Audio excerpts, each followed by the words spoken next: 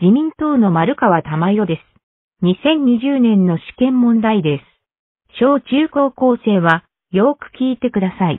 いいですか？コロナ感染症でダメージを受けた中小企業の方に持続化給付金を差し上げました。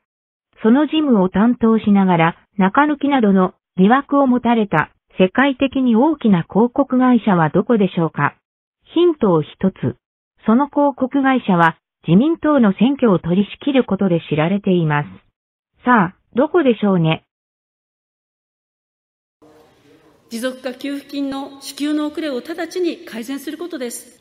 5月1日、オンラインで申請したけど届かないと悲鳴が上がっています。申請を簡易にし、窓口で相談体制を強化し、1回限りにせず、新しい自粛要請と一体で持続化給付金を持続化することです。こうした対応が急がれているときに、持続化給付金への重大な疑惑が浮かび上がりました。